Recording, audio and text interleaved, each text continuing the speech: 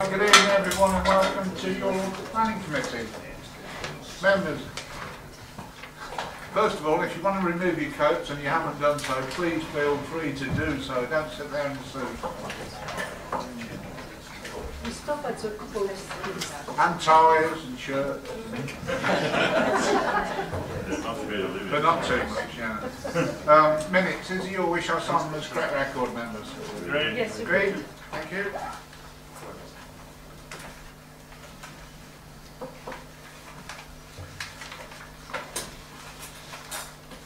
Thank you. Apologies for absence. Apologies received from councillors Richard Auger, Deanna Eddon and David Smith, Chairman. Okay, it's the full house otherwise. Okay, members' interest, disclosable interest. Councillor Irving Swift. Yes, for the uh, fourth planning application, DA 2018-0282, uh, I, it's a property that is next to mine, so I will have to leave the room. Okay, thank you. Any others? If not, don't remember, you, don't forget, do remember rather, you can um, always disclose them at the particular time. We've got from.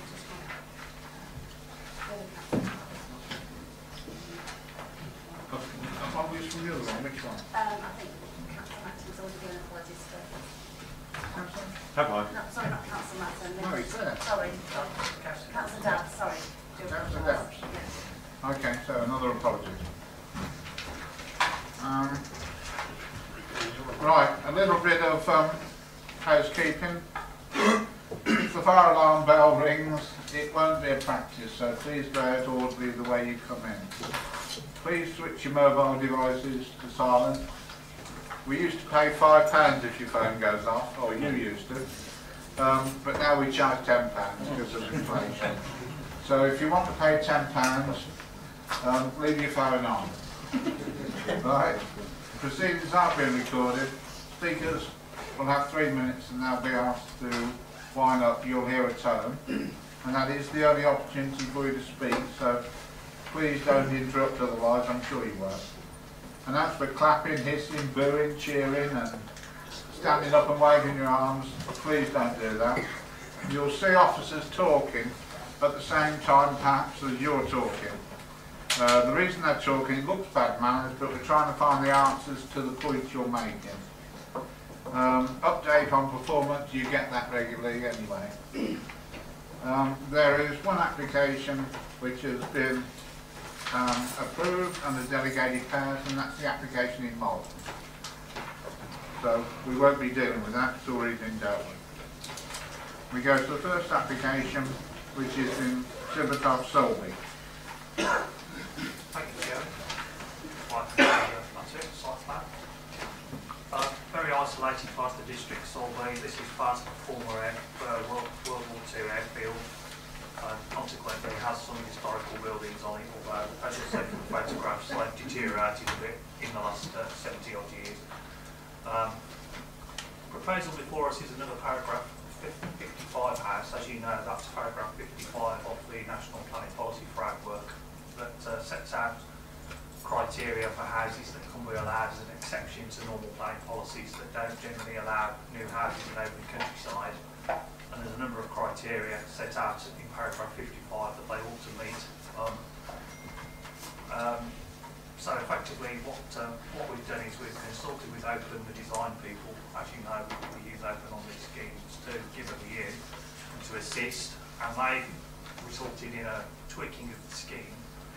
Um, as you'll see from the plans and the photographs, it sits in a heavily wooded area, which has been naturally wooded as I understand it. It's been taken over by ash trees after the war, and they've self-seeded and just generally uh, taken the place over. Although a group tree, tree preservation order has now been placed on those trees, but um, the idea is the management of the trees will take place as well as the actual development. And as you'll see there, it's a concept we've seen before now in some of these paragraph 55 houses where you get two um, effectively pitched roof long sections that could almost be barn-like in appearance, splayed apart with a central link between them. And uh, we've done one at Creaton, I know, um, which was very similar to this in that type of form, although the materials and the setting were quite different. So, um, as I say, it's obviously conjugal policy, but it's measured against paragraph 55. So we have the latest advice from the Open Design Review Panel on the amended plans, which is now in the lab representations, and as you'll see, they are supportive now of the proposal. And on that basis, uh, Chairman, we're happy to, and we're recommending approval. Thank you. Thank you, Keith. Um, no speakers. Local member, councillor Irving Swift. Yes, well, as Mr. Suffield said, uh, it's uh, paragraph 55, so you like it or you don't. Um, But it's subservient to, despite being big, it will not be seen, or that is my understanding, that the wooden, the the wooden, uh, the wood around it will still be the major feature, because it's, it's a wonderful part of the, the ward, and uh, I would not like a house to dominate, but I'm satisfied uh, with open, and um, I don't think we sh- it's a question you like it or you don't, and I would not like to waste any member time. Uh, It's, it's a paragraph 55, and I agree with Officer report. Thank you. Do you have a seconder? Thank you. Would you like to speak now on it? No, it's fine. uh, Councillor Jones? Councillor. Uh, Thank you, Chairman. I just wanted to say to members that it's not very often that we have the opportunity to, to leave a mark like this on our district. The design is, is very sympathetic to the surroundings, Yeah. which I know quite well, uh, for a number of reasons, and uh, I'm fully supportive of this application, Chairman. Thank you. If there's no other speakers then, no, there is another speaker. Councillor Ritchie. Thank you, Chair. Um, Councillor Irving Swift says that it's a wonderful part of the, of the ward. Can I ask if that means that she has been in it? And that other people are able to go and make use of that particular bit of the countryside?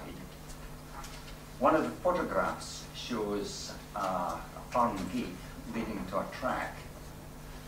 Is that, is that an area that, um, that is open to the public or could be open to the public or the rights of, um, uh, uh, that seems, I feel there's,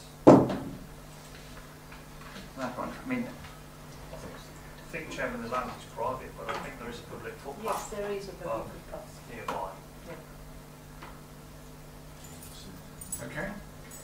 Um, I mean, uh, you know, in that case, I, I, you know, I again question why, if you have got what, by, by all accounts, I haven't been there, but, but, but reading the papers, is an exceptionally attractive, um, bit of ground.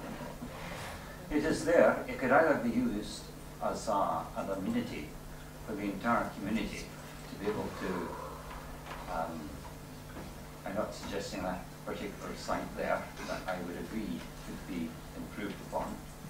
But I, I just object to the, the, idea that um, just because people can pay large amounts of money to expensive and clearly very good architects come up with designs that can effectively take over bits of the country, but therefore make it inaccessible to, to future generations. And for that reason, I don't think I can, you know, I could vote for that on the grounds I just don't see that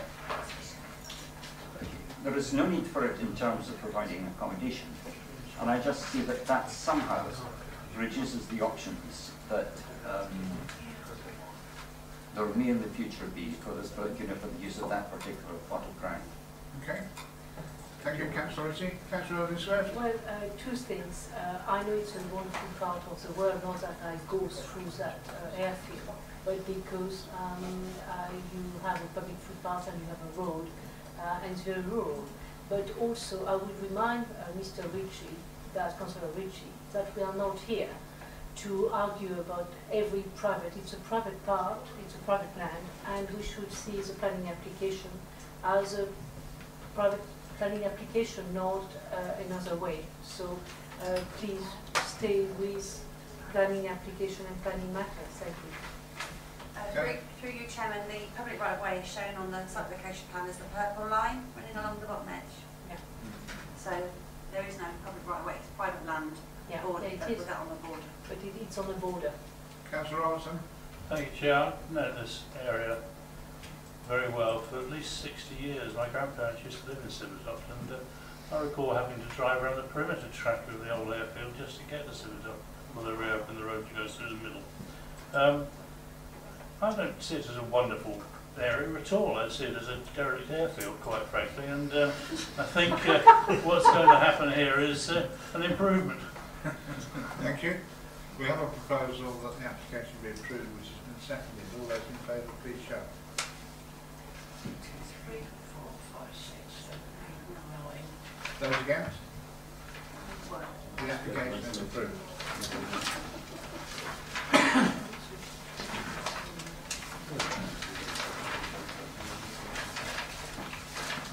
Next application is um, 0031 and it's in.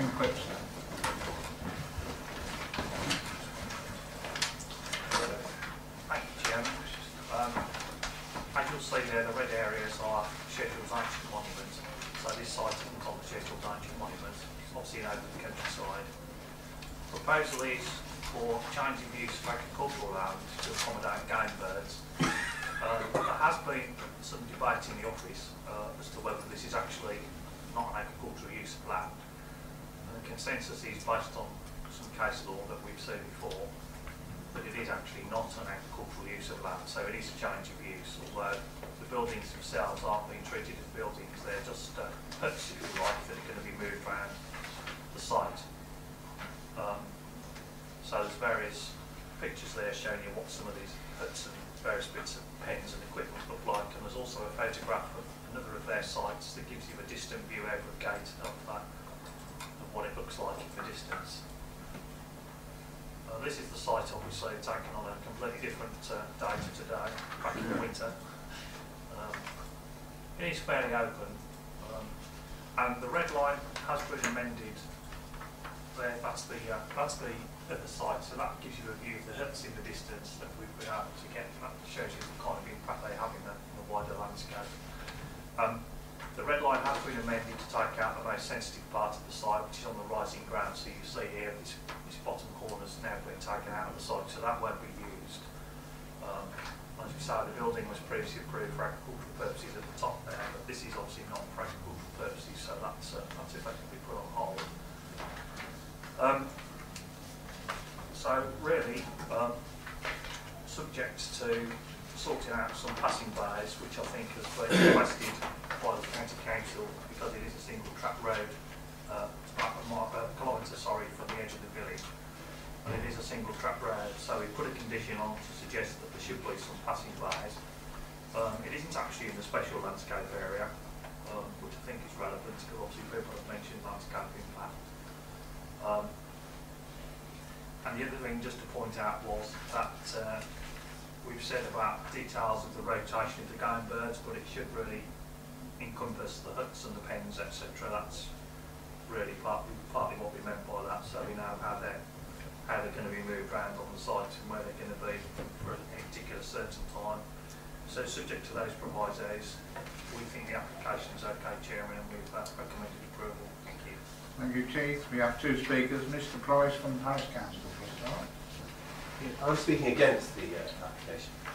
Um, well, the site in question lies approximately one mile from Clipston and is special. It comprises gently undulating pasture with views to, to the east from Clipston, and part of its western and southern boundaries adjoin an ancient monument, namely Clipston Medieval Settlement, and with the site itself having a considerable amount of ridge and furrow. In other words, unspoilt countryside with considerable heritage importance. The proposal for rearing birds on a large scale does not sit comfortably with any agricultural use. There's intended to rear 45,000 partridges and 25,000 pheasants annually to be housed in 245 structures designed for the 70,000 birds. Now, such an extreme use, in our view, is inappropriate in such a rural and unspoiled area of countryside and can only have a detrimental effect on the character and appearance of the locality, particularly in the context of the adjoining ancient monument. To substantiate the rural situation point, the road serving the site is a single track road with no designated passing places. It serves for the most part traditional farm accesses. Now, there have been references to passing bays being requested and imposition of planning conditions, but this is a fundamental and costly point. A point not to be addressed by conditions, in our view, but fully, fully considered before any planning application is discussed. Clipston Village is close by. There is considerable concern in respect to potential smells from what is a type of intensive farming. The planning officer's report says any smells problems might arise in future should be addressed, addressed to the environmental officer who can investigate. 70,000 defecating birds?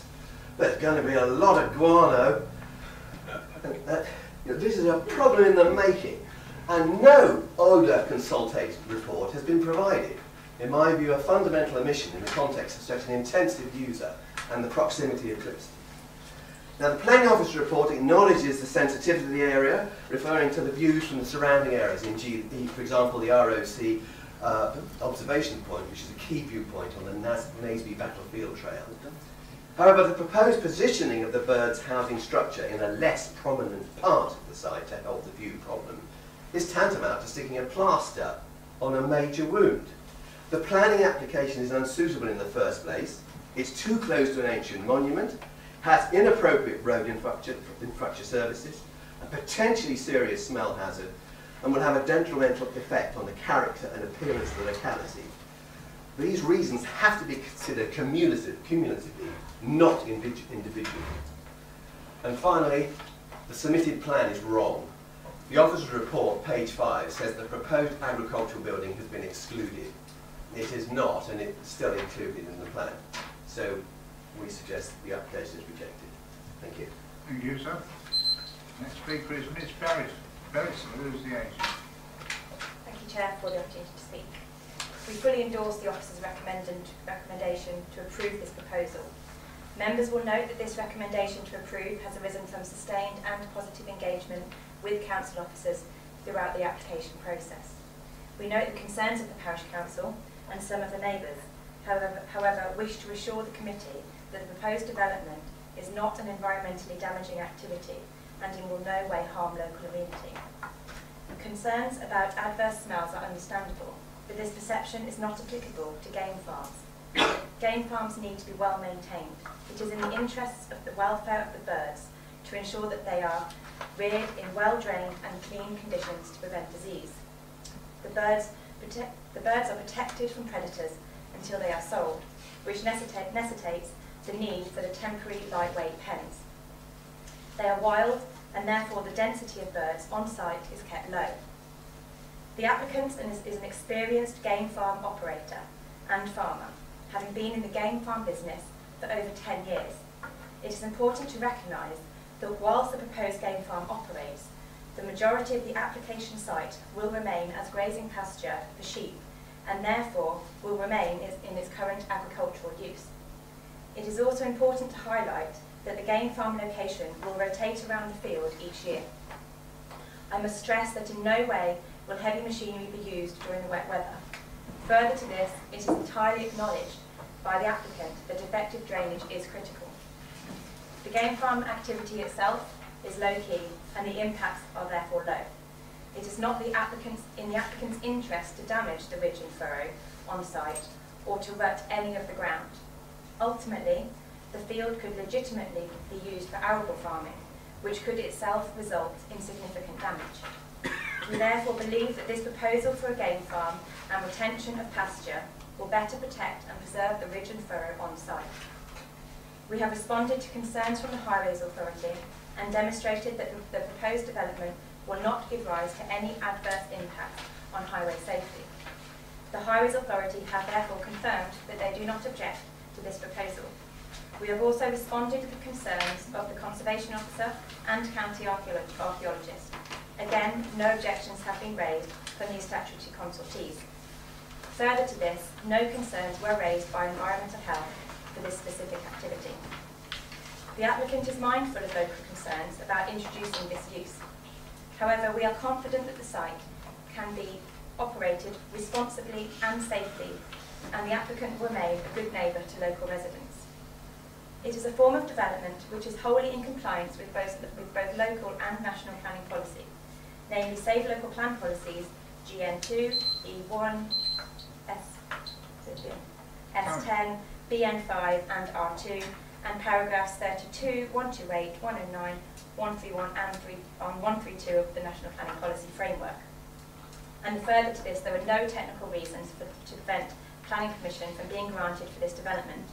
We therefore ask that the committee endorses the officer, officer's recommendation to approve, subject to the conditions outlined in the report.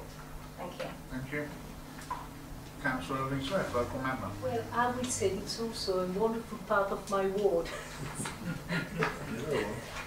Another one, you- your grandparents live far away. So, um, But um, I, I can see both sides of the argument. I can uh, appreciate uh, the anxiety from the villager about the smell. So uh, before I speak longer, uh, would it be possible to give a temporary planning application of three years? Is that something that, because it's all temporary accommodation of birds, so to see, instead of giving it for a long time, could we revisit and do just give a temporary accommodation for, for that business? Yeah, I was going to say, normally, we would say no if it was proper buildings, but obviously in this case they're remo- removable buildings, but they obviously come at a cost. Yes. So this is the problem we've got. The person buys those buildings and they've got the cost and then their permission doesn't carry on, you know, they're disadvantaged in that sense. So I don't honestly know whether it's possible for them to uh, hire them or rent them or lease them or whatever.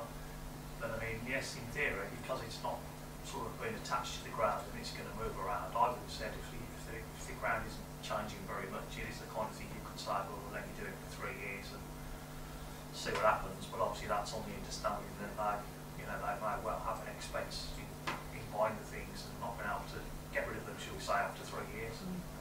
Well, uh, um, thank you so much for that clarification. I think it would be um, a good step, so it will mitigate if, if what the applicant said is valid.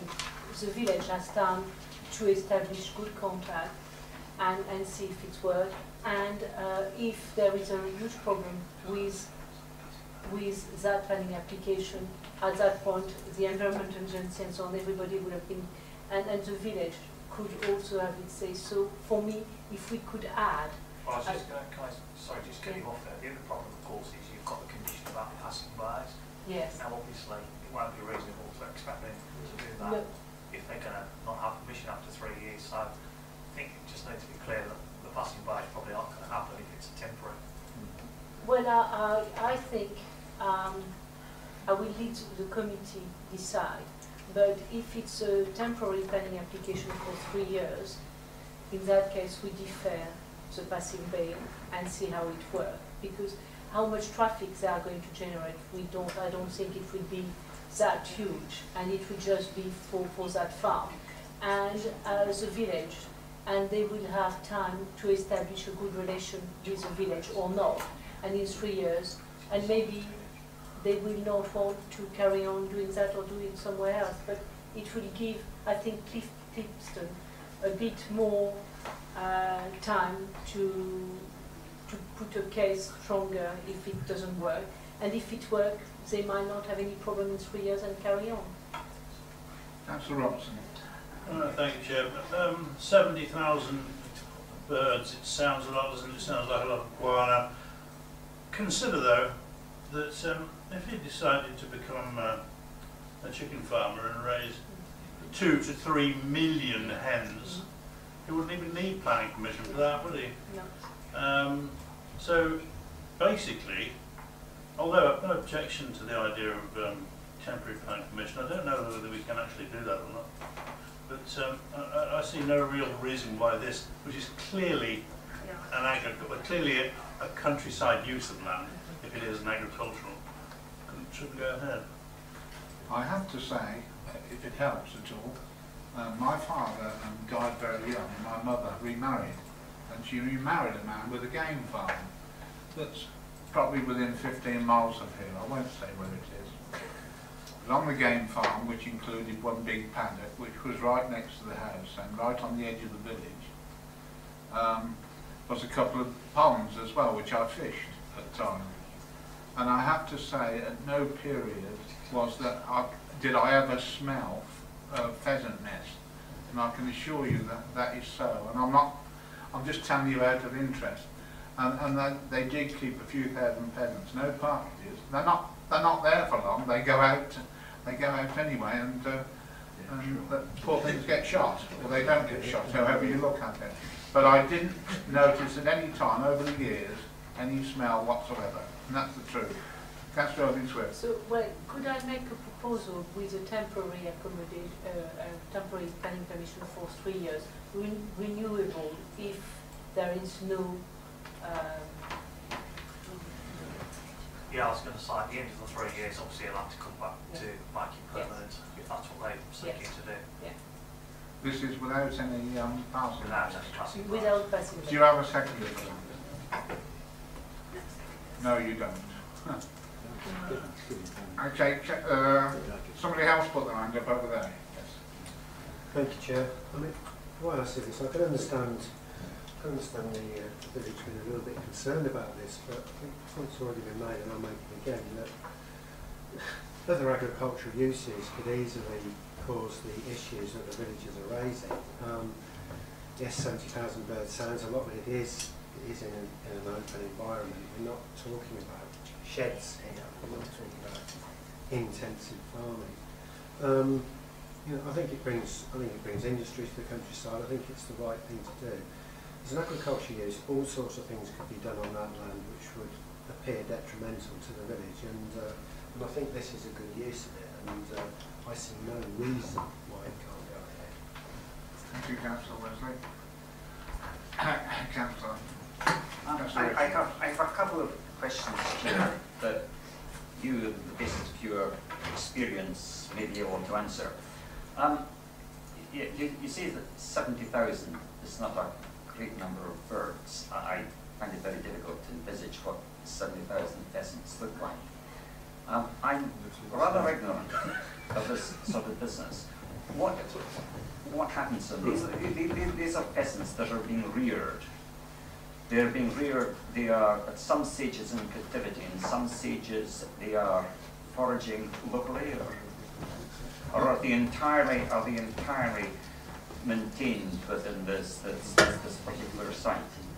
I don't know what this applicant wants, wants to do with, but normally they're reared, as you say, then they go, they're sold to shoots that buy them throughout the country. But they would not be shot in a local area. You wouldn't, wouldn't be seventy thousand. Not normally, they normally go to different, different shoots throughout the country. I, I'm not aware that that's what this applicant wants to do, but that's normally what happens.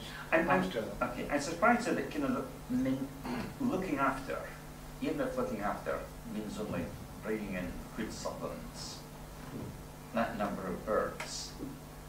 I, is, is there any trace in the application, sorry if I've missed it, of any sort of backup stores or things like that? From what I can see, it's all places where the birds are going to be kept. There must be staff, there must be an office needed that keeps the records of sales and everything else.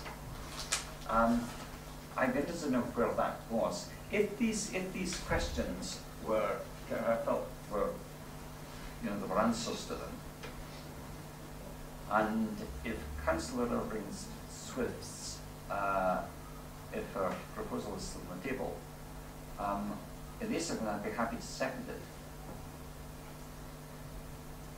Okay, well, it failed earlier on.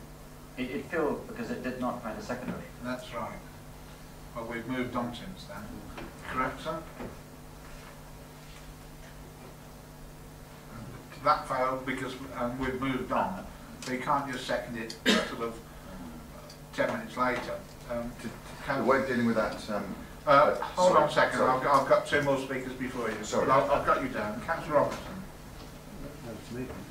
It's me. I think it's me, uh, Um, Councillor Longley. Yeah. Um, a couple of things I would say here. The um, uh, pheasants are, are reared for part of the year. This isn't a full 12-month operation. Um, so I'm, I'm to be precisely, probably three, four months, that sort of range of time. So the majority of the year, there are no pheasants on, on the land. Um, that would be my one point I'd like to make. Second point um, I'd like to make is that uh, I'd agree with Speaker on my right that you're bringing business to the countryside, there are other alternatives, and um, for, um, for that reason I'm going to propose that we approve this. And I would also add to that, uh, for Councillor Ritchie, um, you uh, would like to know what 70,000 pheasants look like, and uh, my answer is they're mostly the same, Councillor. so, uh, but I would like to propose that uh, we accept the Did you have second? then? Yeah, no, no, we're all second. I- I'll, I'll let um, Councillor Chandler do it because I'm going down on the list to speak. And then it's Councillor Frost afterwards. Councillor Chandler. Uh, thank you, Chairman. Uh, in a way, I'm surprised this application is necessary because I don't see this as a vast change from agricultural use personally, but if those are the rules, then those are the rules. Um, I do have experience of, of, of this kind of business, uh, but not in this county, and uh, I can uh, do my best to reassure people that it doesn't cause any of the problems that you've listed as being potential problems, and I'm happy to second the proposal that we grant permission, Chairman. Thank you, Councillor Chandler. Councillor Frost. Uh, I was just, um, I think it's a way of um, dealing with Councillor Irving Swift's point, as well as uh, the point that um, first was made about uh, the expense and things that, that goes into these things. Um, uh, am I, um, am I, is it a protocol for me to uh, to make the same proposal as Councillor Irving Swift, but uh, for four years? We have a proposal on the table at the moment. Okay, so it's, that that supersedes that, or can I make a, okay, am I allowed to make a, a, a new one, the same as Councillor Irving Swift, but uh, bearing in mind that hasn't, that didn't get seconded, I make it for four years. Um, um, uh, It's an amendment. as a, uh, sorry, that, that's an amendment, so an amendment to, to, to that for four years. Um, You can, you can propose an amendment for four years and without any passing bays. Yes? Do you have a seconder? Okay? Councillor Ritchie. Right. Do you wish to speak on the, um, on the amendment or not? no, because it's the same as uh, Councillor Swift already said. Well, Well, we, just, we we will be voting on your amendment first. So Right, so you it's- have, the- it's- you have it's the chance to speak on it. Okay, um, so it's, it's to grant temporary permission for, for four years. Um, so a, a permanent application would have to be made after that time. That, that would give, um, uh, uh, an opportunity for, for things to, to pan out to see. I mean, yeah, I, I don't know enough about this specifically, but there's a lot of work's gone into it. I've heard parish council speak. Okay, well, as I've gone back to the proposal, we go straight to the vote. Those in favour of four-year temporary use, please show. Three. Those against. All for three. Seven. So that is lost. So we go back to the original uh, proposal, huh? which is that the application be approved. All those in favour, please show. One, two, three, four, five, six, seven. Those against. Seven. So the application is approved.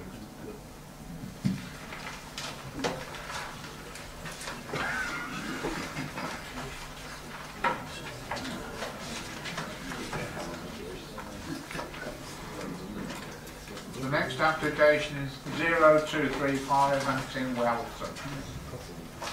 Thanks, Chairman. Uh, application site sits within a small residential development dating back to the uh, 1980s. Um, sort of a, it's served off an unadopted road in the estate to be fair, sort of a plank layout.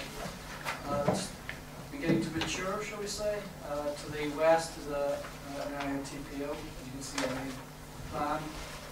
Uh, the property in question is a one and a half story dwelling, uh, rectangular floor form, uh, and the proposal is to uh, extend to the side uh, to effectively create sort of a T shape uh, with some further alterations to the, the roof line, including the addition of a new dormer where there's a, a roof light uh, and reconfiguration of the entrance to the, the house itself.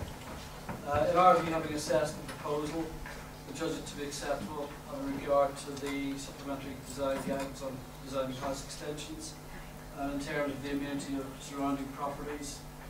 Um, and although we have taken note of the concerns of the parish council on balance, we recommend the application be approved, Chairman.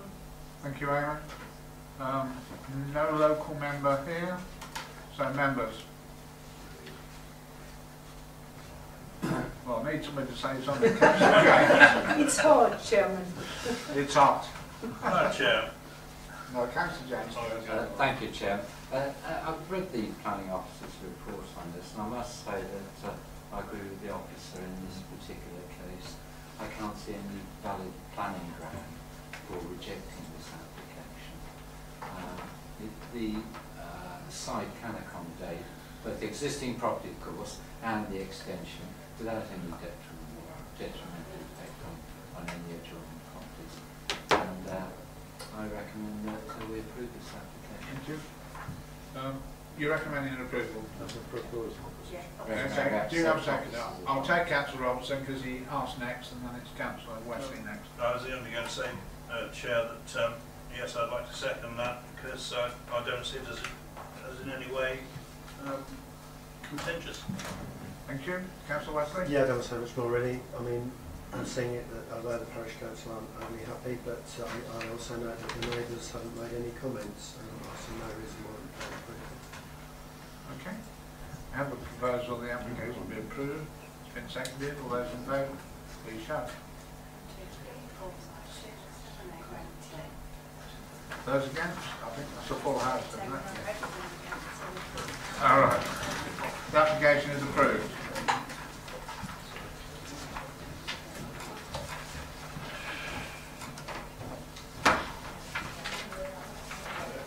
Application is 0282 and it's in Arthingworth. Yes, thank you, Chairman.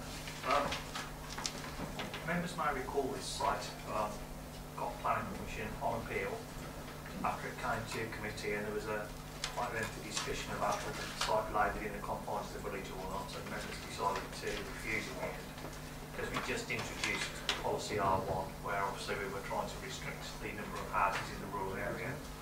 Um, but nevertheless, it got granted on appeal, and the scheme that was allowed on appeal um, was very similar to the house that's already next door, the two houses that are next door, effectively a pair of cottages which look very similar. So that is effectively the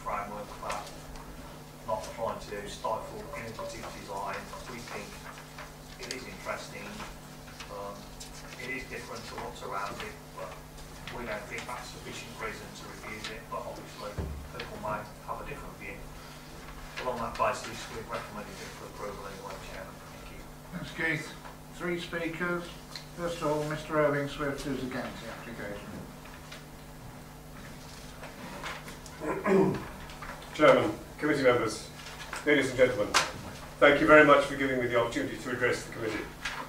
My name is Charles Irving Swift, the owner of Bosworth House, the Grade 2 listed property situated diagonally opposite the site of the proposed dwelling. I've been asked to speak to the committee on behalf of five other owner-occupiers of properties on our lane, as well as on my own account. I wish to state unequivocally that we are unanimous in our position, our opposition to the construction of the proposed dwelling on the land adjacent to the cottage Oxendon Road. We are simply of the view that it is the wrong design for this particular location. We have five key objections. First, the proposed design deviates clearly from the village design statement, which states that new development should be sympathetic with existing housing and be in keeping with a rural location. Sympathetic with existing housing? Hardly. There are no other flat-roofed residences in the village. In keeping with a rural location? Not in the least. The proposed dwelling might be in keeping with coastal properties on Miami Beach, but not with a village setting in rural Northamptonshire.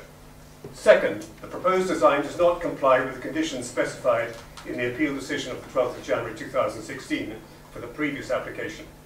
The decision states that the revised proposal incorporates an acceptable design of the built form compatible with the adjacent cottages, including brick facing to the ground floor with render above and a slate roof and chimneys to the front elevation. By no stretch of the imagination could one claim that the proposed design is compatible with the adjacent cottages. Where is the brick facing with render above? Where is the slate roof and chimneys to the front elevation? Third, the proposed design will have a detrimental impact on the approach to our Grade 2 listed property. It will be clearly visible from our gateway, orchard and front garden, especially in the winter months when the trees are bare. Chairman, Bosworth House plays a key part in the efforts of the National Garden Scheme to raise money for Macmillan Nurses, Marie Curie and the hospice movement. Just last Sunday, we had over 100 visitors to the garden. Why do they come? Because they want to visit the garden of a traditional Northamptonshire farmhouse in a rural setting. This setting will certainly not be enhanced by the appearance of a modernist construct within view of the garden. Quite the contrary. Fourth, there is the question of invasion of privacy. The proposed house, as currently designed, incorporates large expanses of plate glass in the front and rear elevations. This is a particular concern for the owners of adjacent properties who fear that the inhabitants would have unfettered views over their houses and gardens, thereby intruding on their privacy. Fifth, we contest the notion of a single dwelling on the site. Approval was originally given on appeal for two semi-detached cottages, subject to the aforementioned design considerations. This made eminent sense. Villages like Arthingworth have a dearth of affordable housing for younger people, who otherwise are being forced out of the local community. What we do not need is yet another executive home which will be out of the financial reach of the younger households. Finally, I note from the Planning Officer's report that representations in support of the proposal have also been received from two other local households and from the owner of the adjoining cottage and land opposite the site. These represent representations should be heavily discounted by the committee. The two local households are not situated on the lane where the house will be built and therefore would not suffer any direct impact from the project. As for the owner of the adjoining cottage and land opposite the site, the party in question does not reside in the village, has no interest in the environmental consequences of the development, and was the former owner of the site that is subject of the application. For the above reasons, I submit that the proposed dwelling in an overtly modernist style is wholly inappropriate, is bad for the village, bad for the lane, and bad for the neighbouring properties.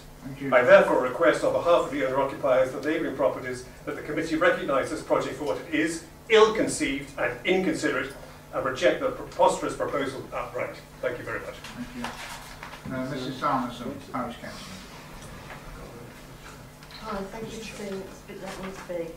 I represent Alderman Parish Council, who strongly object to this modern design of the proposed dwelling and feel that it will never settle into the rural and traditional landscape of the village.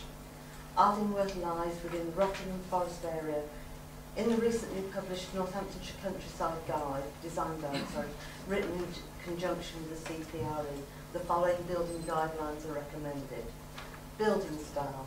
New buildings should draw their basic design principles from the scarce forms, materials and detail of the local vernacular.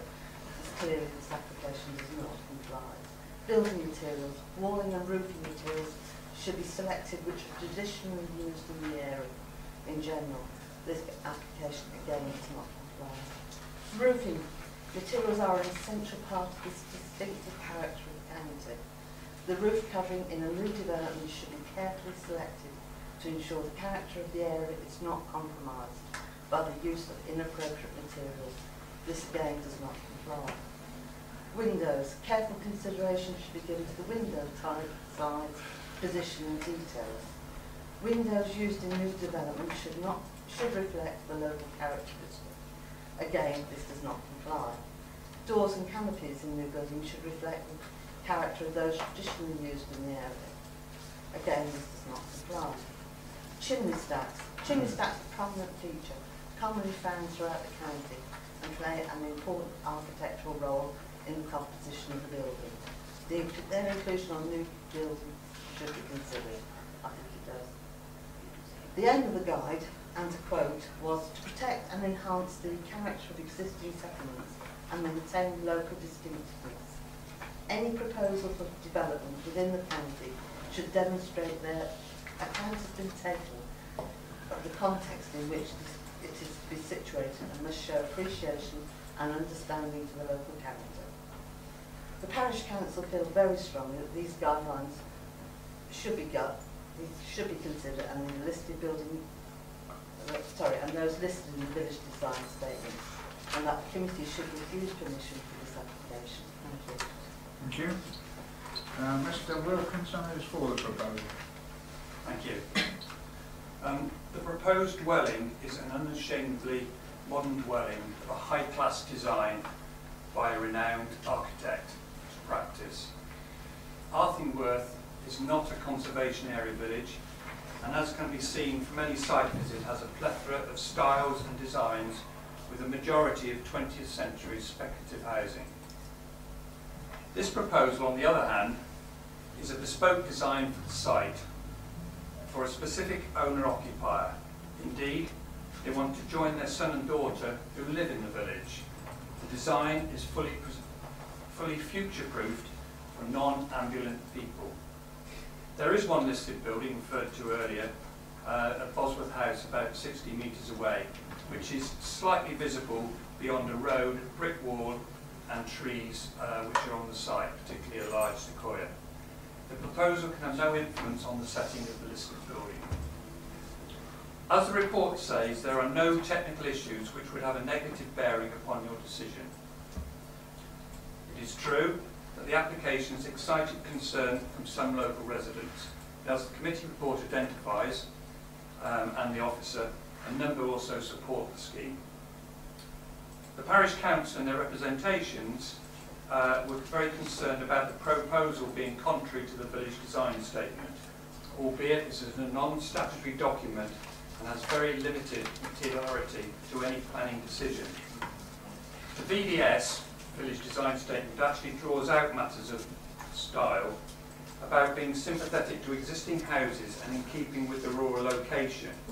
Interestingly, the illustration in the village design guide which is on page 20, actually shows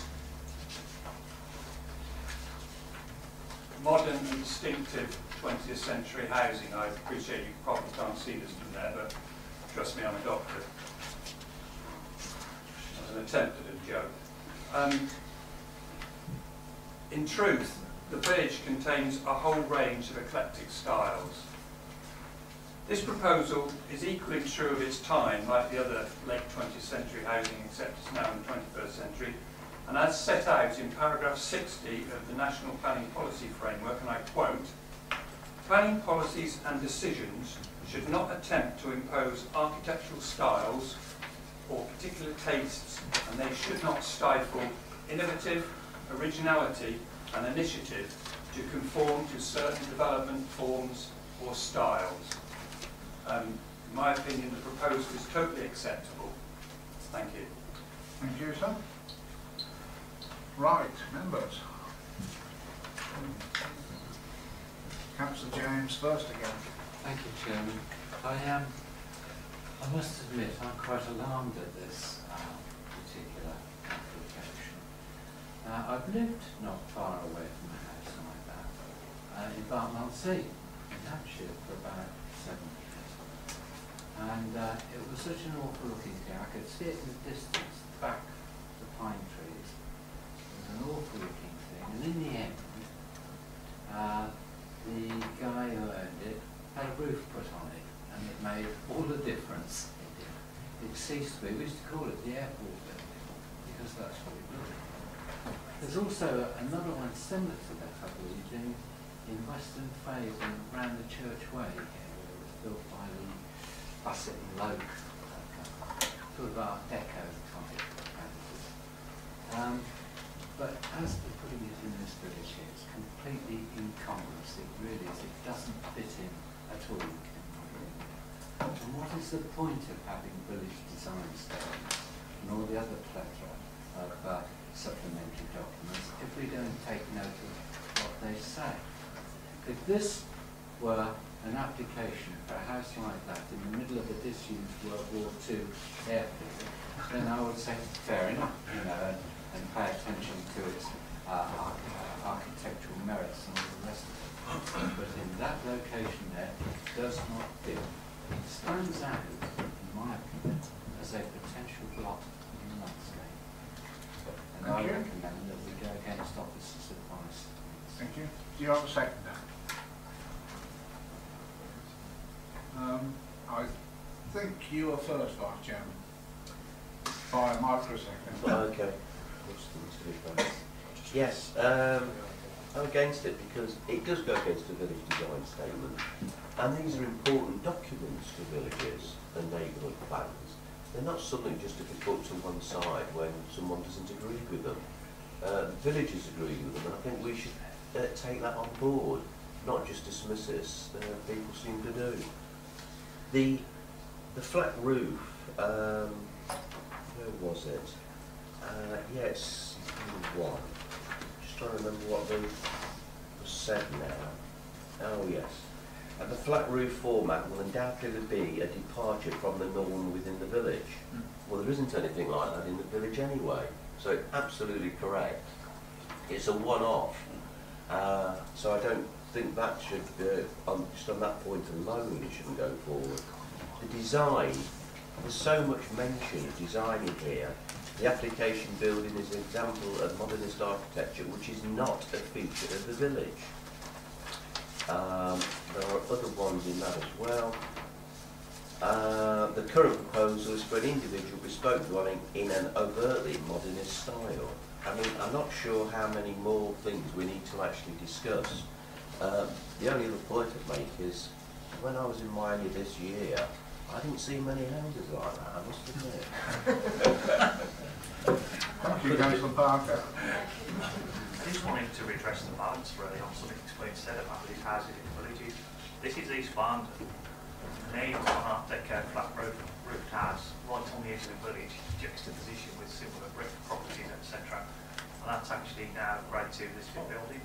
Thank you. So although people have said you never kind of see this in the village or in villages around it, well there's an example that you do really. So I just thought to be fair to everyone, I would show you an example that is actually considered of such architectural merit as it's achieved listed status, Chair. Thank you. Thank you, Councillor Wesley. Thank you, Chair. Yeah, I've listened, I've listened to this. It's, uh, first of all, I was thinking, yeah, that's, it's not, to be honest, not, not my taste. That's uh, sort of sitting there a little bit. You think it stands out like a sore thumb.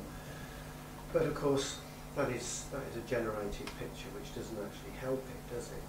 And then you start to look around the pictures of the village, and it's, it's an, it is an eclectic mix of buildings. And I understand the concerns about village design statement, but there are all sorts of buildings in this village. I mean, you could argue that you know, that's not an attractive, that's not an attractive, uh, particularly attractive property either. I mean, it's not horrible, but it's, you know, you could argue that stands out as well. And you know, I think making judgments on uh, on the aesthetic of it like that is, is such a personal view. I don't think we should be doing that. And I think on balance, I think uh, I think I would go with officer advice on this. Thank you, Councillor Wesley. Councillor Robertson. Thank you, Chair. Basically, um, I think I agree with that statement, but um, personally, I don't like it. It's uh, and this is all getting down to a matter of personal taste, isn't it? So uh, now, is that a genuine planning ground for refusal, or is it not? Um, it just looks to me that if the roof's missing. Thank you, Councillor Ritchie. I, I have a slight sympathy with Councillor Robertson's view.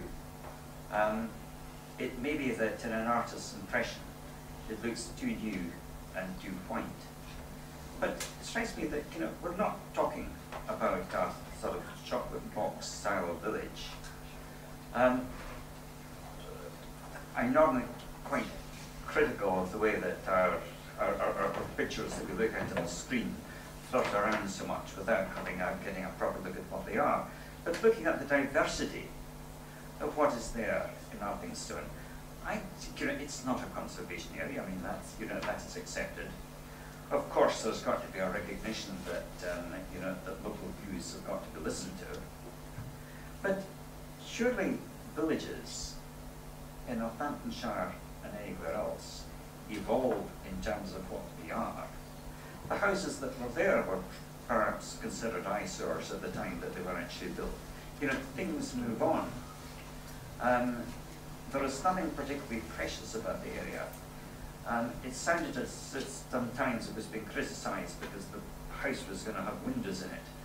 And you know, of course there are windows in which people look out. And if you happen to live in a village, then it's very difficult to look out in a village without overlooking somebody else's garden or somebody else's property. Um, I just, I'm just not, don't feel happy with the argument that's been put against this particular house. I, I, I would, I would almost like to see a condition that it should be green rather than white, or something like that. but on the other hand, I just, I just don't see any, any strong ground for saying that, you know, officers' advice should be rejected in this. Thank you, Councillor Ritchie. Yes, sir. Could I ask um, the council officers if we were to say no, is there a very strong chance that that would be overruled on appeal? Um, I wish I could answer that. Um, I mean, it's a bit of a lottery, to be honest. I mean, you have said correctly, but to a point, it is down to kind of personal, Personal taste. taste. And obviously, I mean, the planning inspector will be the ultimate arbiter, if you like, if this goes to appeal. And the planning inspector will, will have a view, but as we've said, they'll also have to have regard to the development plan, any other material considerations, including the National Planning Policy Framework, which both I and Mr Wilkinson have reminded you of about individual design shouldn't be just ruled out because it's individual design. Um, so I don't know really, it depends what weight the inspector decides to give to all those considerations, which is really what you guys have got to do as well, I suppose. We as officers have obviously come down on the side of thinking that it's acceptable. But I understand why people think it's not acceptable. That's partly why I showed you that one in East Haddon, to be honest. Because there's proof that we've got a flat roof, Art Deco house in our district, sitting in a village environment on the edge of the village in a very prominent site there at East Haddon, sitting on the top of the hill. And um, when um, English Heritage, who were back in the day, contacted us and said, Do you got any uh, decent Art Deco buildings in your district? I said, yeah, there's one I know. And as soon as they looked at it, they went, wow, that's amazing, we're listing that. So that's been my listed building. So that's just saying about, what did people think about that when it was put up in the 1930s in the village? Yeah, somebody else has said, they probably said, God, that's hideous, and it's totally out of character. Yeah, you know, 80 years later, it's a listed building. So it's all very subjective. We have recently lost one as well, which is a shame really, but right on the edge of uh, Moulton, as you go into Northampton, where it literally crossed to the boundary of Northampton, used to be a flat roofed Art Deco house. But unfortunately that one wasn't listed and they let it get into a total state of disrepair until it fell to bits and that's now kind of been demolished and replaced with a more modern property. But again, that was in a row of semi-detached brick houses sitting right on the edge of Moulton. So they are, you know, they are dotted about the district. So to say, you know, they're not, they might not be in this particular village, but you know, they have from time to time because that's been the style of architecture at the time. That's been the style of architecture that person wanted to build on that plot that they bought. So it's not the 1930s, you know, we're into the different century, but it's a similar thing basically. So, but it has got similar characteristics to that flat roof, white render style um, Art Deco type type property. So, so it's a subjective judgment, and who knows which way an inspector will go. Okay. Councillor Longley. Yeah, um, thank you, Chair. Um, I, I'm really quite surprised that um, this application has come in um, as it's come in because um, there's already approval for two two houses on it, and um, the argument here this evening is all about the style of the building, not the fact it's going from two houses to one house. had the applicant come in and put a proposal up that um, was just one house, and um, I don't think there'd been any problem about it. What we're arguing about is, is, is, the, is the look of it. And it seems an odd thing to me that um, if I was wanting to move to that village, um, I wouldn't want to have six neighbours all in the lane um, uh, against my, my building. So I would have thought the applicant would have been uh, would have been a brighter move to come in with a design that his neighbours or his future neighbours would be happy with. That certainly would be my approach on that. So um, I think the design, my personal view is the design is out of place in that village. However, there may not be any planning reasons for voting against it or turning it down. I would have thought you look to the applicant to say, well, look, I want to live with these people, and uh, maybe he might want to rethink it. Thank you. If there's no other comments, Just I'll like- go back to councillor Jennings. I'd just like to reinforce uh, what I said. If, if we don't have some regard to village design statements, another supplementary planning document, then there will be nothing to, to stop anyone putting up a proposal for how to build out of plastic lemonade bottles, which is perfectly feasible and of architectural interest. Could be plastic lemonade bottles and uh, ooh, have a plastic straw roof made into thatch, some sort of thatch roof. Now, that would be just as incongruous. So then we would say, well, we don't care what the villagers think. Uh, we think this is a modern house with architectural features and have importance or special importance or something like that. And we're overruling it. I think that would be terribly wrong. So I go back to what I said originally. It would be incongruous in that location. All vi- most villages are haphazard. They developed as they've gone along and they're different styles. But they, more often than not, they're not outrageous styles. Thank you. Thank you. Right, I've gone back to the proposer. So we have a proposal, the application be refused, which has been seconded. All those in favour, please show. One, two, three, four, five, six, seven, eight, Mr. Okay. Those against? Eight, Two. So there must be an abstention somewhere then. Oh no, there's a person outside, that's right. The application is, is refused for the given reasons. Okay, come in.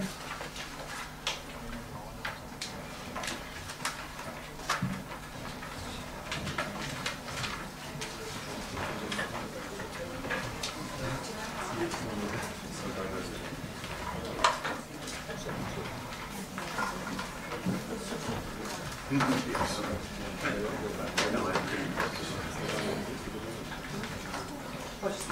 next application is in Newnham and it's 0291.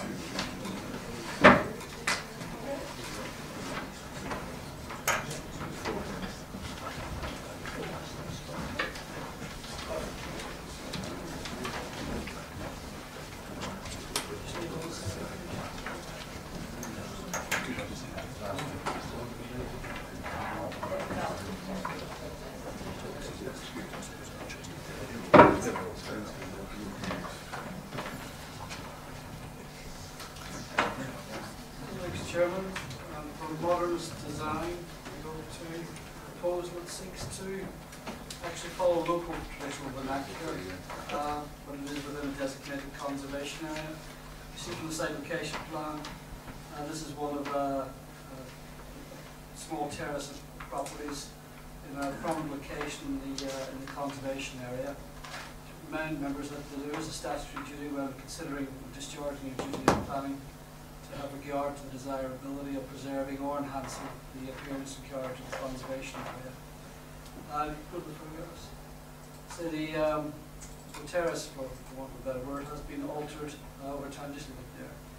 Um, it's quite distinctive in terms of the original terrace, in terms of the, the layers of brickwork, stonework, etc., uh, which give it a very distinctive appearance.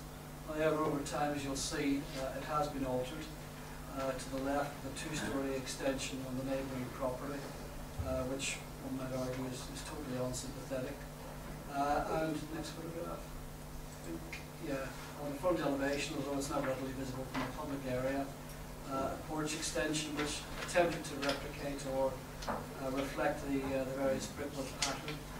Uh, and some again may take a view as to whether or not that is successful or not. Just go back to the street, uh, the previous photo. Uh, the application property is on the right-hand side, uh, and basically the, the end gable is unspoiled, uh, apart from a single-story extension, uh, which in our view is, not readily visible from uh, outside of the uh, uh, outside of the site itself. It's quite a large plot. Just go to the next one.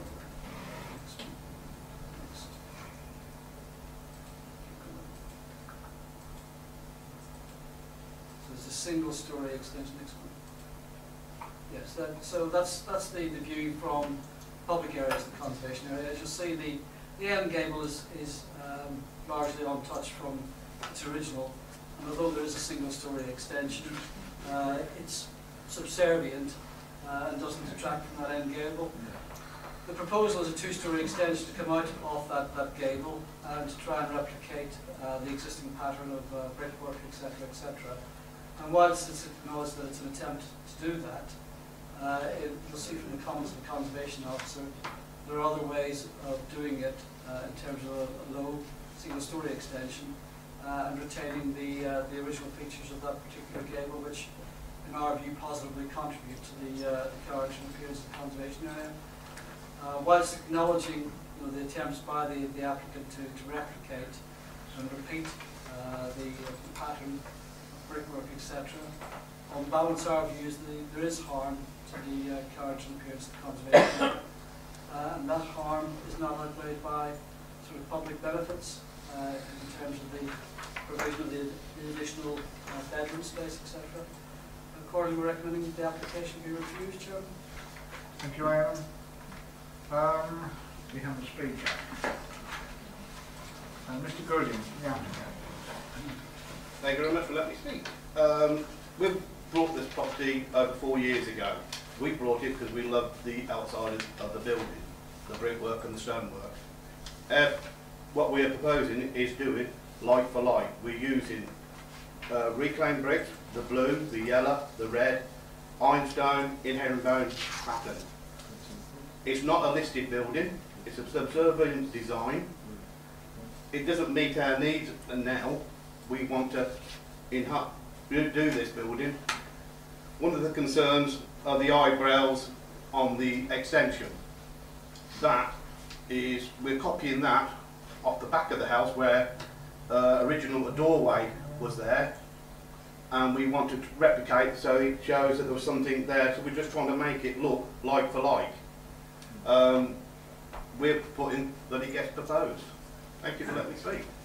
Thank you, sir. Um, Councillor Brown has indicated he'd like to speak. Uh, Thank you, Chairman, and apologies for not letting you know previously that uh, I intended to speak on this application. Um, So as members, next time we'll, we'll get you. Thank you. Um, as members will note from their paperwork, the uh, Parish Council is uh, agreeable to this uh, application. As we've heard from the applicant, uh, they have in fact gone out of their way to respect the architectural character of the property as it stands uh, and to make every effort to respect the fact that they live in a conservation area.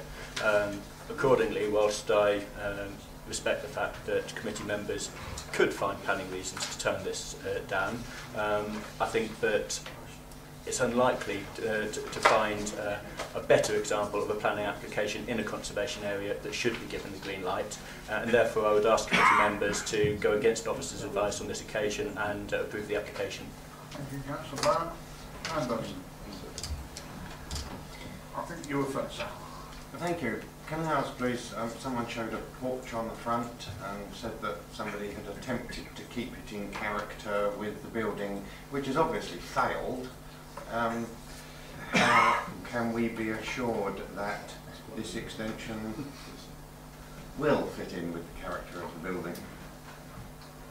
But to my mind, that's failed. Through you, Chairman, that, that's the reason why the application is being recommended for refusal. I mean, whilst I would uh, applaud this is a genuine attempt to replicate, um, obviously, the, uh, the, the, the features of the, the existing building, in our view, the original features should be left to contribute to the conservation area. Um, trying to replicate with a modern uh, attempt, uh, whilst it provides the, the applicants with additional accommodation, in our view doesn't preserve or enhance the conservation area. Uh, so to that end, we, should, we feel that the end gable should be left as is, and the applicant should explore a single story extension. Okay. Uh, through, through you, Chairman, if, um, it's just a reminder really about the conservation area because it's not like any other planning application. It is, we should only be approving this if it is going to enhance the conservation area. And like another application, you know, a, a normal, you know, a, a straightforward planning application. And the private benefits to an individual doesn't overrule that. I mean, to, to answer your question, uh, I mean, yes, if you're, if you're convinced that the materials will be an identical you know, match to what's there, the original materials, then you're entitled to come to an alternative view. In, in my experience, it's very difficult, even using reclaimed materials, to get something that matches the original features. Our point is that that end gable, apart from the single story extension, remains pretty much untouched. And it's the end of a terrace that has been altered over time, and I'll take a view of those alterations. But that gable provides and contributes to the character and appearance of the conservation area. It's whether or not they attempt to replicate that with a modern extension, albeit trying to repeat the, the features of the existing building is acceptable. We say, we say not. Members are entitled to come to a different view. Okay, Councillor Madsen. Councillor Robinson. No, thank you, Chair. Um, going back to the porch, is that on the same property or is that next door? Neighbouring property. Neighbouring property, I thought so.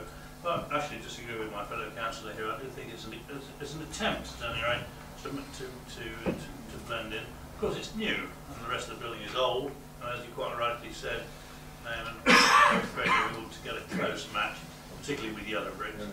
Um, but um, and one would hope that uh, they would make a better job of that. Um, and uh, it does, from the design that I saw, um, keep, keep flicking through.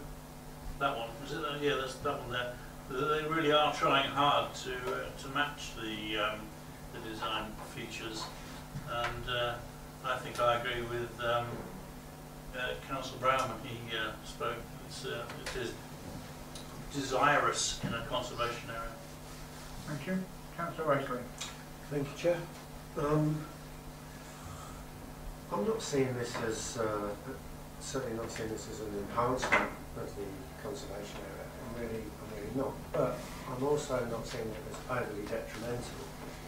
And um, when you actually look around at the, uh, the various add-ons and the bits and pieces on there anyway, other stuff has other stuff has happened, and, I, and for me, this isn't this just doesn't go, it doesn't take it too far away, and hopefully it will be better than the than those existing uh, add-ons and buildings. There is there's already a low-level extension which is which is sort of outside of scope, if you like, and we're, we're, we're sort of talking around, if you want, fiddling around the edges of this conservation area, and I think you know, the applicant has stated that they, they like the design, that they want to see it, see it going forward. I think it's another case of in 20 years, nobody will know the difference and still hopefully say it's an attractive, uh, an attractive building. Um, um, I would like to, I would like to go against Oxford and pricing this and accept it. Uh, proposal. It is, yes. Uh, do you have a second? Councillor, you can speak next, as you've seconded. Thank you very much. Um, the uh, officer in this case acknowledges in this report there are a couple of ways of looking at this. And He says there are two ways of looking at yet another potential harm to an already damaged building. It can be seen as being past saving, or alternatively, that the proposed change would be the straw that breaks the camel's back. Well, obviously, uh, Mr. Gudgeon or the applicant uh, are trying to do the best they can to be sympathetic with the building that has been damaged, the road, in the past. It's not what it was, and it's not our place to try and take it back to what it was. We're trying to do the best we can within the scope of planning law. Um, so I feel that this is a case, now I'm not being awkward tonight, I haven't got out of bed on the side where we ought to go against officers' advice. This is on the periphery of Newnham. It's not right down in the, uh, in the centre of Newnham or down in the old stony park near the church. It is on the periphery, it's a little bit mixed up there, and as you can see, it is, has considerably changed over the years with that extension and that garage there, um, which is hardly an attractive feature, that door. Uh, so I would say in this particular instance, we would only be doing the right thing by going against officers' advice and allowing this application. Thank you, Councillor James. Councillor Irving Swift. Well, I have nothing to, to add. Everything was said, so we could go to the vote if you wish. And Uh, we've got a few more speakers yet. Councillor Ritchie. Um, just a question, Chair. If you go back to the, the diagrams, the plans of what is proposed, the, the gable end uh, diagram on the left has got a lot of writing in it. Can you just tell us roughly what that is all about? Well, it basically says to you, Chairman, that we'll do and copy everything that's on the original building. The, it, it, it, it, it specifies the, the sort of brickwork that will be used. Well, yeah, as you see from the notes, it says we'll, we'll, I we see, will yeah. attempt to replicate the, the layers of brickwork and stonework that are exist on the existing building. Part of this thing is really about the execution of it, obviously, if you agree with the principle of it. The danger you've got is if you get it wrong, it's gone. I mean, that's our concern really. Having seen what's been done on the porch, I don't think that's a risk we're prepared to take. But that is effectively what, what's at stake here. You either destroy the original when it's gone, it's gone, or you say, no, we'll keep what's left and make an alternative single story extension, because they've already got a partial single story extension, which is totally incongruous with cottages cottage using that stone, uh, stone they've done it But I'm saying that is really our concern.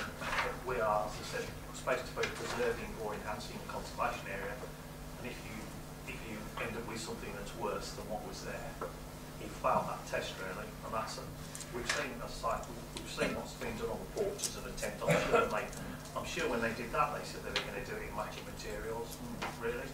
Well, you know, we've seen what, we've seen what they've done, so ends up looking like that, I don't think that's gonna preserve or enhance the conservation area anyway. Get through you, Chairman, the, once the, one may have a view of the porch, the porch is not readily visible from any public parts of the conservation area, so it could be argued the porch doesn't impact on the conservation area. This is a prominent gable that will be readily visible within the conservation area, and the, you know, the judgment is, is what's proposed, albeit uh, a very general attempt to replicate the, the original features of the existing buildings. Uh, preservation or enhancement of the conservation area. You're entitled to come to your view. Right, we have a proposal, the application be approved and which has been seconded. Um, all those in favour of that proposal, please show. One, two, three, four, five, six, seven. Those against? So was that eight? Yeah. Um, Two. can we- Councillor Ritchie put his hand up right, two was it, can we do that Can again? you do, can you do that again, yeah? All those in favour? One, two, three, four, five, six, seven. Sure, sure, councillor. Do, No, just are you sure? Yeah. Are you sure? Seven. Right, and those, those against was two, wasn't it? Yeah. Two. So that leaves an abstention somewhere then, doesn't it? Yeah. Yeah, okay. Right, the application is approved. Well, I'm not going to. I'm sure the app, I'm sure the proposal for refusal will give them. Well, clearly we're going to want samples of materials and we're virtually going to have to, if it's going to be done properly, we are going to be have to be out there supervising this work on almost on a daily basis if it's going to be done right. I mean, that's the situation. Because if it starts to look like that porch, I don't think we're going to be very happy about it, to be quite honest, it ought to, the work ought to stop until it's put right. Well, I would, I would suggest that, um, if I may, to the chair, that if, if you need to supervise it you would do so initially, just to make sure that you've got the right people on the job, and um, that it would tail off after a while, because you would trust them if you see what I mean. Yeah, I think Maybe if not. they- if they've got materials right in the first place, I think let's carry on using the same materials. But personally, if I'd gone out, if I was dealing with that porch, and I'd see that yellow brick, I'd see it straight away, well, you can take that, you can take that yellow brick out, because that is like not right in that particular instance. Through, through you, Chairman, um, if members are minded to, to uh, recommend conditions, one would be to actually construct a sample panel before the start of any work on the extension. Yeah, good idea. And that sample panel will enable the materials to be used to be properly assessed in terms of the coursing, materials used, and how it's put together. Something- And Basically, the work that should be in accordance with the sample panel. Well, you want to specify a size of sample panel? Well, again, again, very- I mean, it would need to take account of the various, various layers that you've got. Something like one point two by one point two. It's got to take account of all those different materials and how they all relate to each other, really. So if we say a sample panel that takes into account all the materials. And all the styles. And all the And all the building techniques, including the herringbone stone that's got to be put in there. Are you happy with that committee? Yeah, yes, please, yeah. Okay, so the application is approved subject to that condition.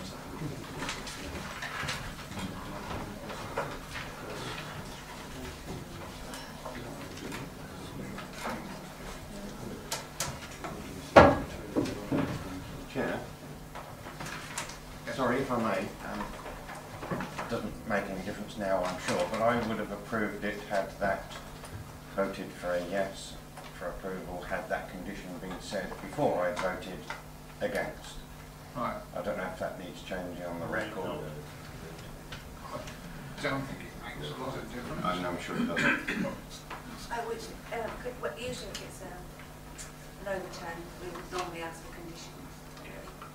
That's so, well, it's, it's usually after the vote that we would make sure that members are happy with any conditions.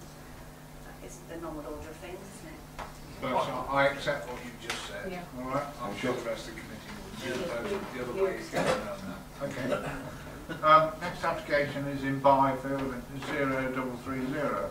Thanks, Chairman. Uh, As you'll see, the the plan, the the site lies to the north of Byfield Village uh, in open countryside and comprises two agricultural buildings, uh, which, as you'll note from the planning history, was sub- subject to a prior approval, uh, which was refused uh, for conversion from resident, from agricultural to residential. Refused solely on the basis of the uh, the lack of uh, vehicular access to serve the site. Uh, The current application is a planning application and seeks to construct said vehicular access to serve said buildings, uh, but to convert said buildings to holiday lets, which is uh, supported by policy. Um, Given the uh, previous uh, history, we, the council has accepted that buildings are capable of conversion. Um, and the vehicular access would not uh, adversely impact on the surrounding landscape. And accordingly, we're recommending the application be approved, Chairman. Uh, thank you. Um, we got any speakers on this one, do we? Um, so remember, officers are interpreting as per government uh, rules. They, they've made it very easy lately to be able to do this. So that's what officers are interpreting. Right, local member. Don't, don't we have a local member? No, we don't have a local So- member. sorry. Councillor Frost. I've, Yeah, I've sure, done local to, member. uh, I've done nothing to, to try, um, what, what sounds, seems to speak for itself as far as I'm concerned. So you don't wish Well, to- no, so, so I would, I would agree with the recommendation. You, you agree with the recommendation? So you're not proposing that the application be approved? Are you? Sorry, yeah, I am. The- the- the- the- I'm not putting words in No, there. think it was. Yeah, the officers are recommending approval and I'm going along with that. Okay, do you have a second then? Thank you, councillor James. Do you wish to say anything? Yes, I think, uh, I'm not so sure as the district needs all these uh, properties for holiday uh, lettings, but uh, no doubt there are from time to time periods when uh, properties in the district are suitable when Silverstone say there's something, there's a shortage of accommodation. But nevertheless, the officers in this case are only doing what uh, the National Planning Policy uh, That's right. you've got to do. and I don't see how you can argue against that in, in this instance. So, yes, I'm happy to second this. Thank you. With no, yes.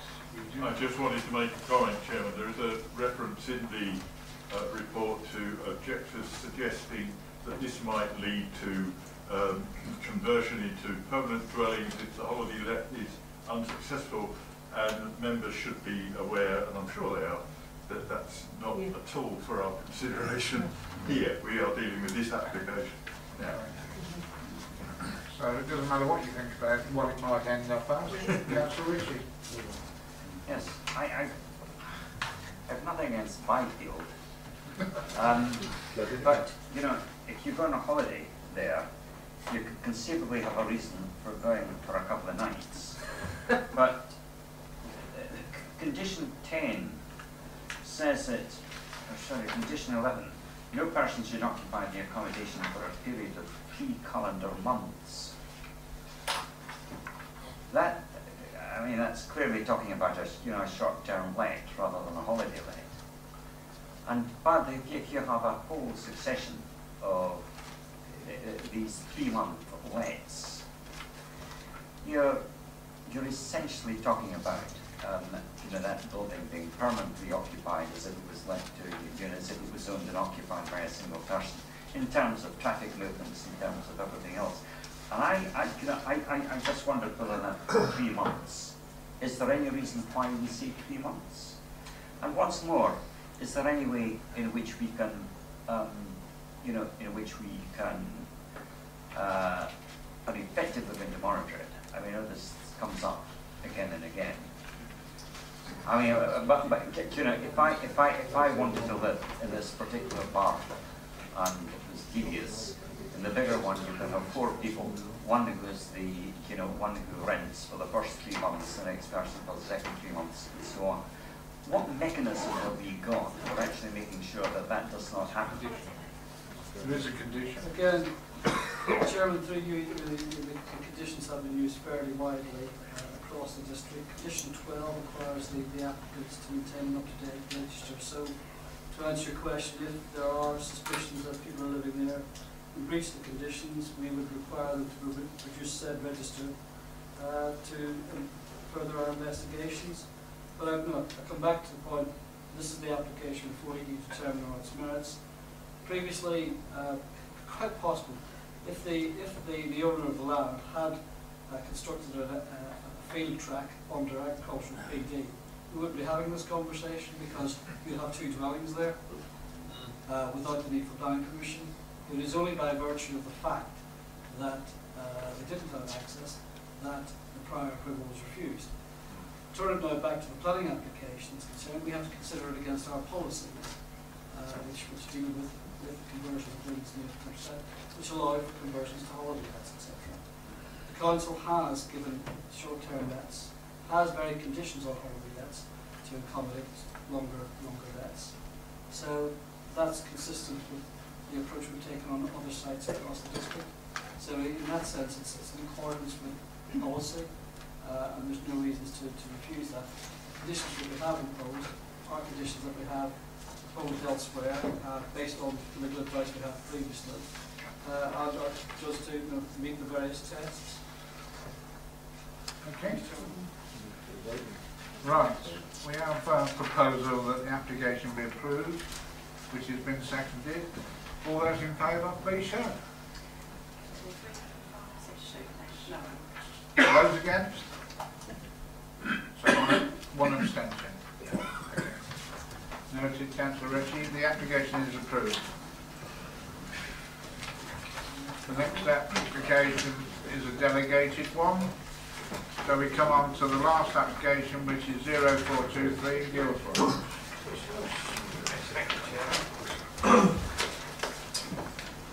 This is uh, quite, quite a minor application really, but obviously uh, a contentious issue, should we say, which is why it's come to the full planning committee.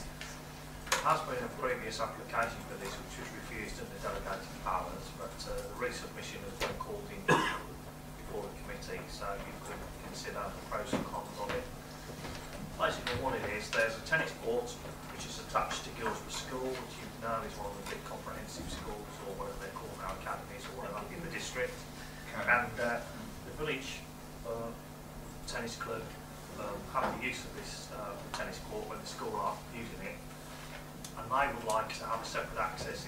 don't have to go through the school premises and they're not tied down to school times or term times or whatever it is.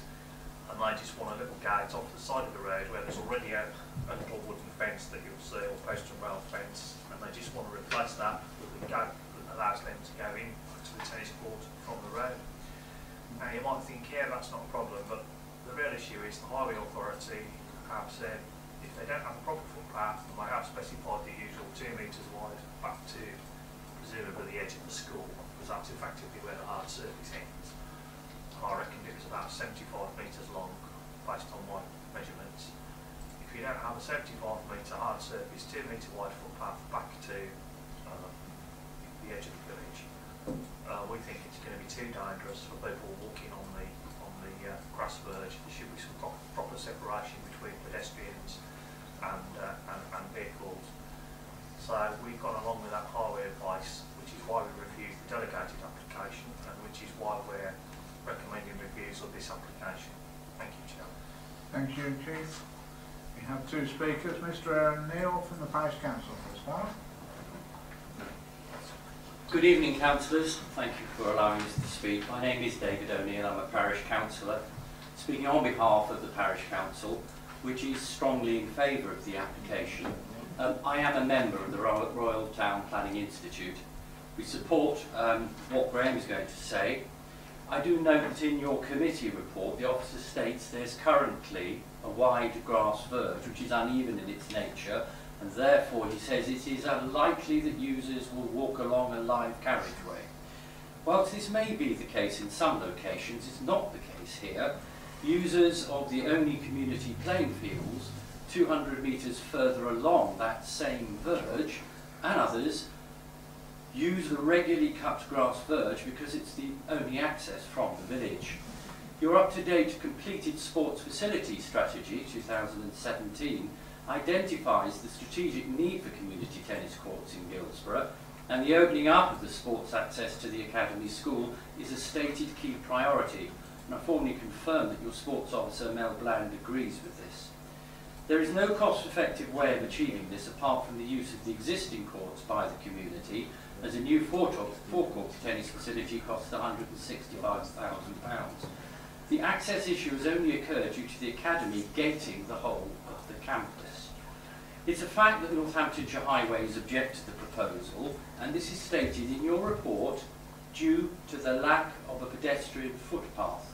And this has led uh, your officers to refuse on Saved Policy GN2, which states that planning permission will normally be approved provided it has satisfactory means of access and has sufficient parking.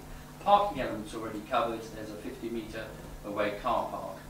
Now, uh, the word satisfactory access, it is important, as it clearly implies, and case law would support this, that it is a question of your plan balance, and, and, and that balance is for your judgment. This is clearly set out in the High Court by Lord Justice Lindblom. And it, it just may help that, uh, to note that he said such reports are not and should be not written for lawyers, but for you, councillors, who are well versed in local affairs, he says, and local factors. Planning committees, he says, approach such reports using that local knowledge and much common sense.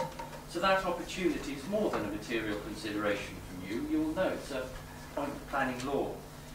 So it is reasonable for your committee, Mr Chairman, to use your local knowledge and much common sense in seeing that a tarmacked curved highway compliant formal footway costing £23,000 is not necessary and that the current and extensive use of the three metre wide verge over a very short distance is on planning balance a satisfactory means of access and so it does meet your same policy GN2. Thank you. Thank you sir. Mr Metcalf. Good evening. My name is Graham Metcalf. I have lived in the village for 35 years. I'm a member of the Guilsborough Tennis Club and I'm a parish councillor. I speak as the agent on behalf of the applicant.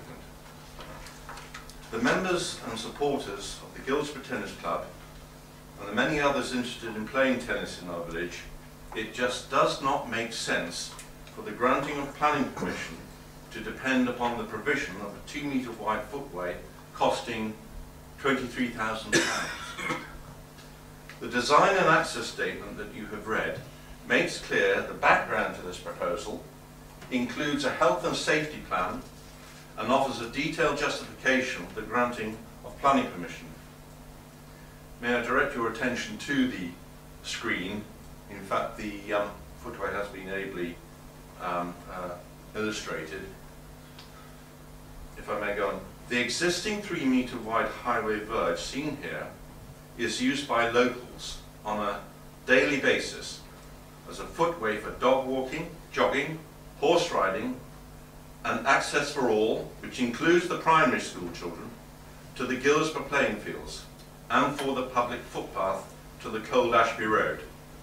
At 250 metres in length from the Academy forecourt, it has been used without incident for decades and is still accepted locally as a safe haven in a rural environment where the local authority has not provided a paved footway.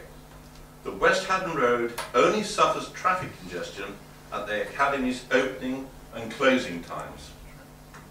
It should be noted that the cost of providing a two metre wide footway from the Academy to the playing fields is estimated at £66,000.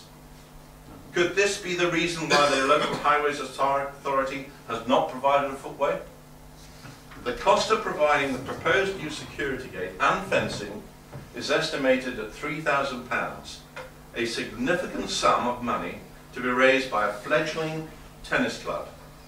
Add to that the cost of the shorter footpath of 75 metres at £23,000 and the highly commendable community project, community project instantly dies. Can this be right when at national and local levels resources are overstretched, more needs, more needs to be achieved for less, and the thoughtless waste of financial and human resources is an ever-increasing issue. Solutions demand imagination and positive thinking, with the appropriate adaptation of current standards to match the individual conditions.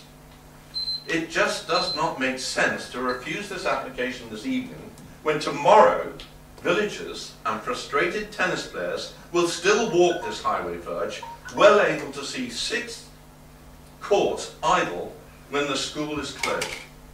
What will have been achieved? Please now approve this application. Thank you. Thank you, sir. We've got three local members tonight. One outside the committee who's going to speak first, Councillor Miller. Thank you indeed, Chairman. Um, speaking on behalf of uh, Long Buckby Ward, where I represent, and I've represented Guilsborough, Chairman, since 1998. I Used to live in the village for some eight years, so I know the site very well indeed. In fact, I was a governor once of Guilsborough School, which is now Guilsborough Academy. I have to say, I think the two speakers so far have spoken really well, and I just want to make uh, refer the committee to the um, assessment of the application in the report, where it says quite clearly there that the um, the courts are going to be used after school is closed. And when, you, the reason I asked for this to come to committee, Chairman, is I wasn't happy about Highways advice taking this into account as an application and that site which I know so very well. And if you look at the reasons on the, the reasons for refusal, it says there resulting in pedestrians walking along the heavily traffic, trafficked live carriageway. Well, the truth is, Chairman, the only time that road's busy is when the school's open. And we're talking about out of school hours here. So I don't understand. I mean, that, I know that road very well because I've driven along it so many times. That road, the only time that road is really heavily trafficked is during the pick-up time and the drop-off time for school. During the rest of the time, you can see that's a country lane. Guilsborough's not a big village. You get traffic coming through, not like a, you know, not like a West Haddon even, just down the road. There's not a lot of through traffic. In fact, many years ago, uh, there's an opportunity for Guilsborough to have a bypass around it, and it refused because the amount of through traffic isn't great apart from drop-off time and pick-up time at school.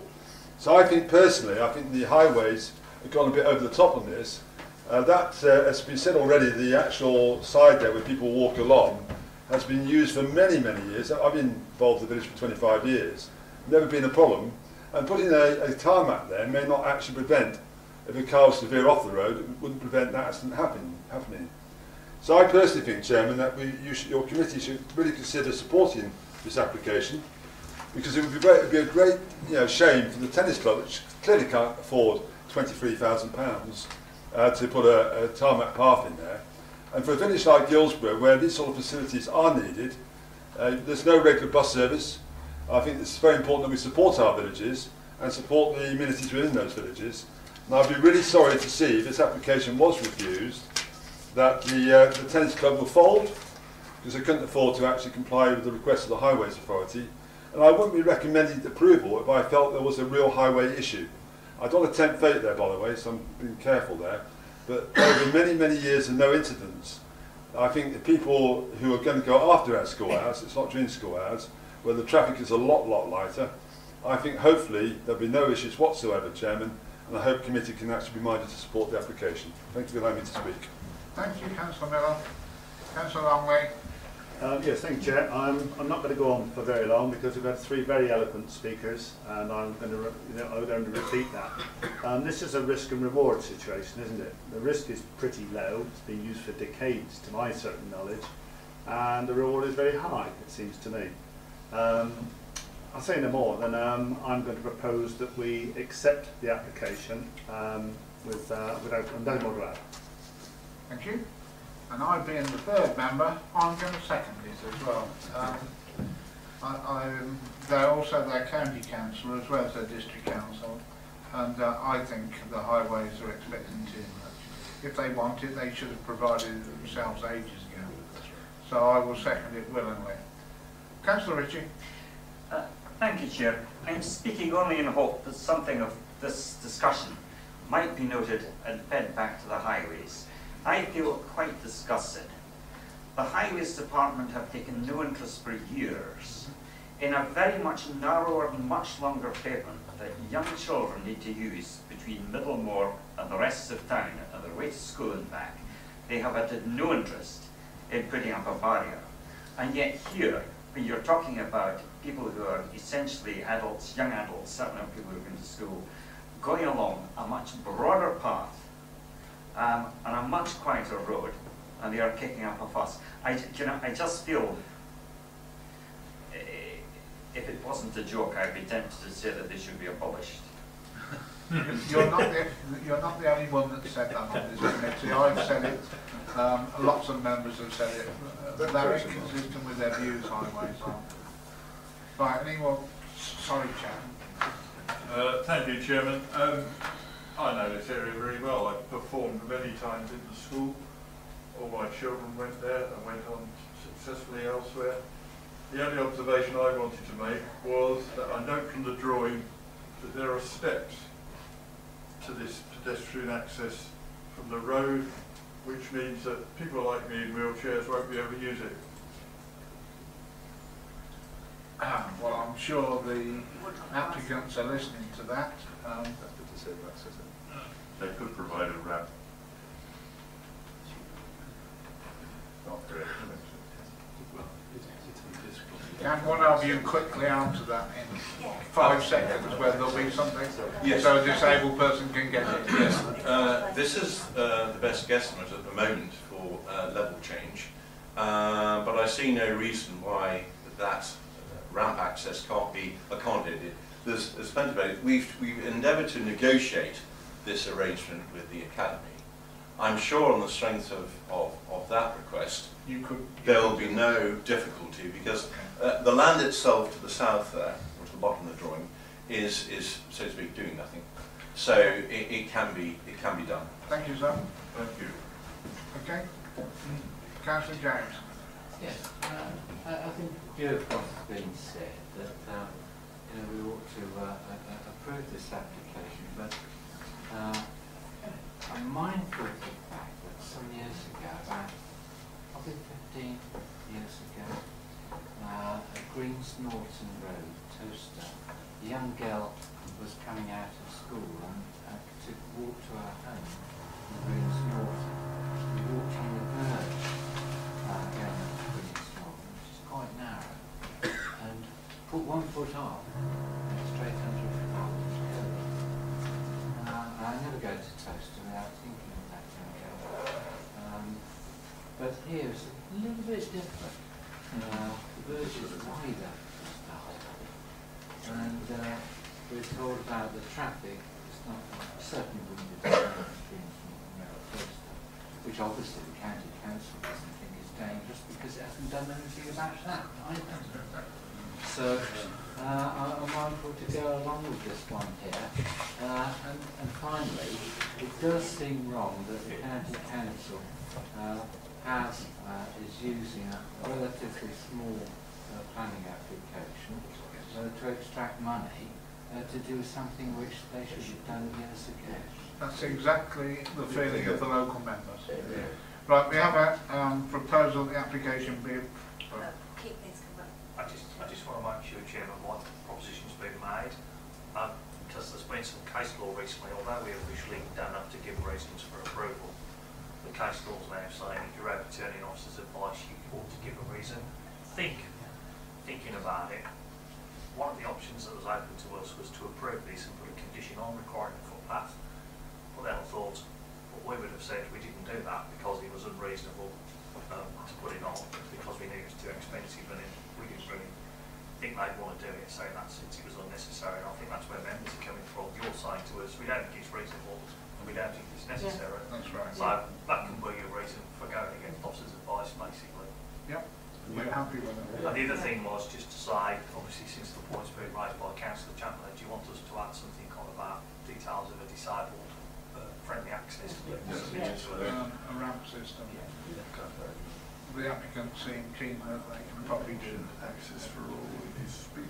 Okay, now we go to the vote then. Uh, the proposal that the application be approved. All those in favour, please show. Eleven. I can't second it, not vote for it. The application is approved. And that, ladies and gentlemen, is the end of the planning committee tonight. So you can put your coats on and go out in the cold.